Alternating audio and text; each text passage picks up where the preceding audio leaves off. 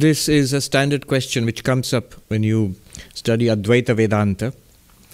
If I worship God only because, first of all, God is something different from me.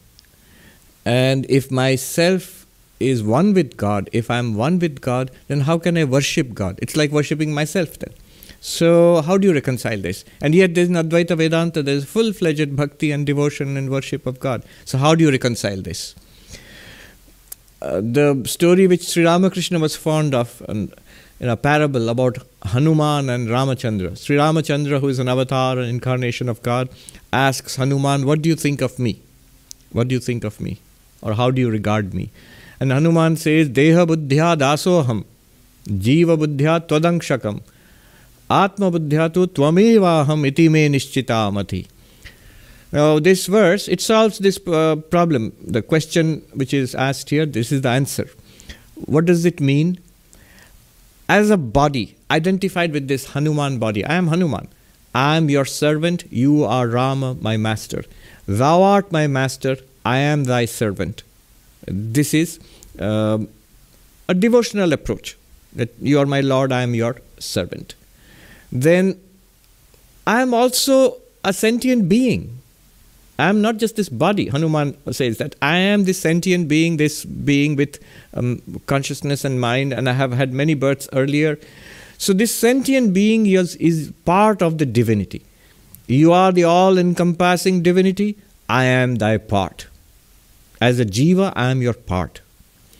And then, as pure consciousness, what the questioner is asking, as consciousness itself, I and you are one reality. This is my conviction. What is the answer? As body, as an Hanuman, I am the servant, you are my Lord. As, um, this, sentient being, you are the whole, I am thy part.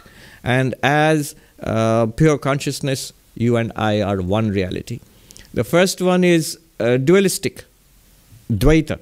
The second one is um, uh, qualified um, monism, Vishishta Dvaita, part and whole relationship. I am your part. And the third one is non dualism, the um, identity of the human and the divine.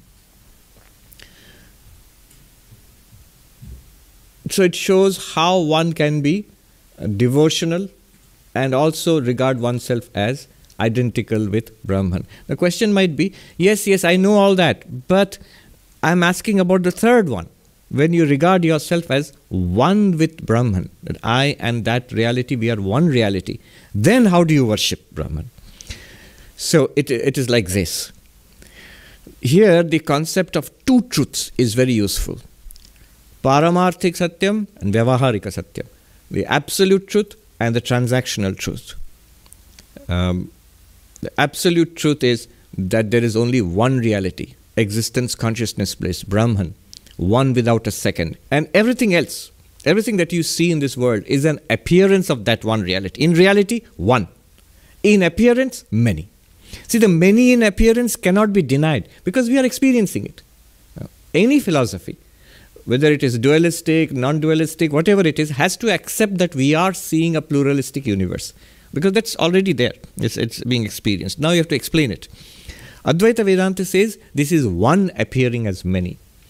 So, one non-dual, uh, non-dual reality, ekam eva dvitiyam, one without a second, that's the reality. That's the ultimate truth, paramarthik satyam. But there is also a level of multiplicity where we are experiencing difference in this world.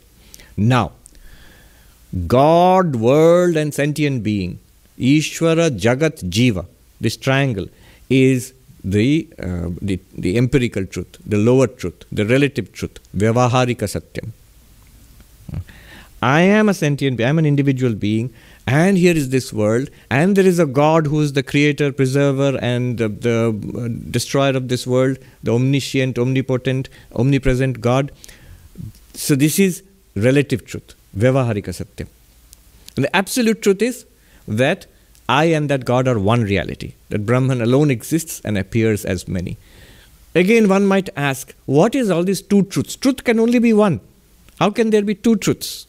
Hmm. Uh, but there can be. When you uh, read a novel when you watch a cinema, don't you discuss the plot of the cinema, who did what, as if it is real? Yeah. So there are two levels of reality you are, uh, inhabiting uh, a level in the movie or in the novel and your own reality. Are they equal? No, they're not equal. One is fictional, the other one is what we consider to be real.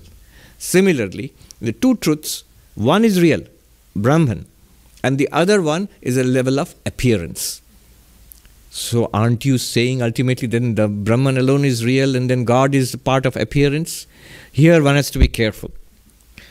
That absolute reality, Brahman, non dual reality, when it appears as this universe, then where is that non dual reality? It is Saguna Brahman, it is God. That same non dual reality is the God of religion. Uh, then what is this? But then you can say that uh, I am also the God, I am also the same Brahman. Correct. And this world, it's an appearance of that same Brahman. The same non dual Brahman appears as this world and is nothing but the God of religion, Ishvara Saguna Brahman, and is identical with you. Brahma Satyam Jagat Mithya Jiva Brahmaiva. Brahman alone is real. The world is an appearance of that Brahman, and you, the Jiva, are none other than that Brahman. Uh, but in this uh, discussion, God is left out. You're talking about me, the world, and Brahman. What about God, Ishvara, Saguna Brahman? See, if you are none other than God, in Brahman, what about poor Ishvara, God? Is God anything other than Brahman? God is, is the same, is none other than Brahman. Hmm. The non dual Brahman of uh, the Paramarthika, the absolute reality, is the Saguna Brahman. In Advaita Vedanta, you talk about two Brahmans. Two Brahmans, not that there are two.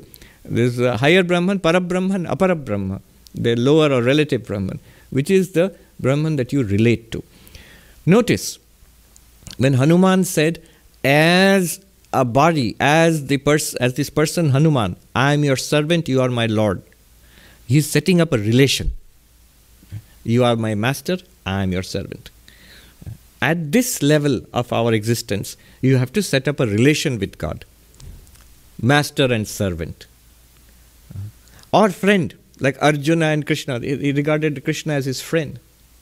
Or father and child, mother and child. Sometimes you can say God or um, uh, is my father or mother.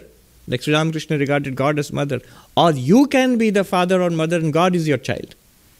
Like the baby Krishna or the baby Jesus.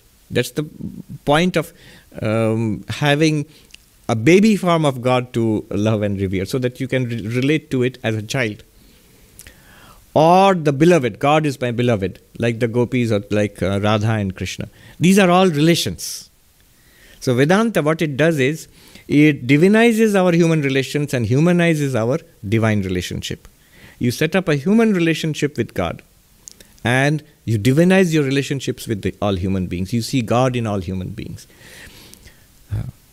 Um, so, that is the answer. You see, that is not very clear. So, am I supposed to worship God or not? Yes, you are.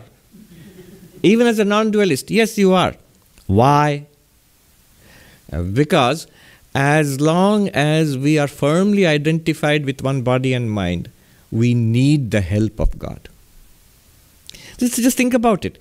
Whether you regard yourself as Brahman or not, right now, are you not eating, talking, walking, going to the bank, um, going to your office, uh, relaxing? Uh, all of these. Does Brahman go to the bank? Does Brahman eat, drink, walk around? No. When you are doing all these activities throughout your day, how, in what identity are you uh, acting? As the individual being. If you can eat food when you are hungry, if you lie down on a bed and sleep when you are tired, when you need money, you go to the bank and get money or the ATM and get money. What harm has poor God done that you can't worship God? Spare a little time for worshipping God also.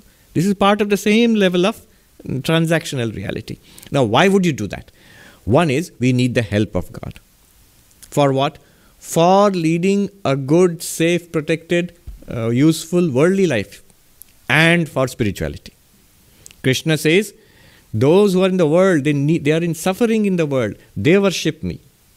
Those who are not suffering, but they need something in this world, you know, more success, a better life, they worship me. Those who are spiritual seekers, those who seek knowledge and devotion and liberation, moksha, salvation, they worship me. So we are all spiritual seekers. You worship God because you need the help of God for enlightenment. The most powerful help that you get in this universe is God. And God wants us, wants you to be enlightened. So you take the help of God. Now, one more question remains. After I'm enlightened, then that means when I know I am Brahman, then I don't have to worship God anymore. Krishna says the, the, the enlightened ones are also those who worship me. Artha, Artharthi, uh, uh, Artha, Jigyasu, Artharthi, Jnanicha. The four kinds of devotees those who worship for some worldly need, those who worship because they want enlightenment, and those who worship because they are already enlightened. If you're already enlightened, why will you worship God? You know you are Brahman, then why are you worshipping God? Uh, Bhagavatam says, Ittham bhuta harer gunaha. Such are the extraordinary qualities of the Lord that you cannot, the enlightened one cannot but uh, pour himself out in love and devotion to God. Uh, it's not a sign of enlightenment to say that, oh, now I've become enlightened, I don't need God anymore, goodbye. No, it's a sign of enlightenment that for the first time you be, God becomes real for you. Swami Brahmananda said, spiritual life begins after Nirvikalpa Samadhi. because Sri, Krishna says, among all the devotees, those who worship me, who, those who worship God, it is the Jnani, the enlightened one, who is the best devotee. Anyway, so that's the answer.